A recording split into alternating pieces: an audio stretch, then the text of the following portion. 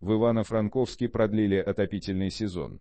В Ивано-Франковске из-за ухудшения погоды продлили отопительный сезон до 15 апреля.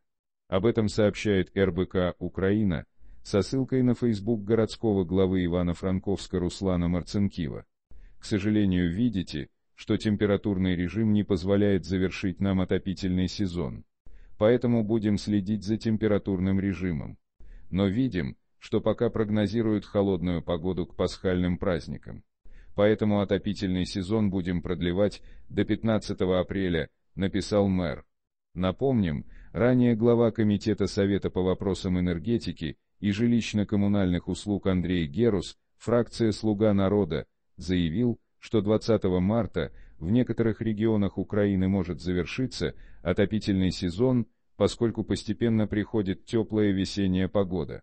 Таким образом он предлагал сэкономить энергоресурсы, в частности газ.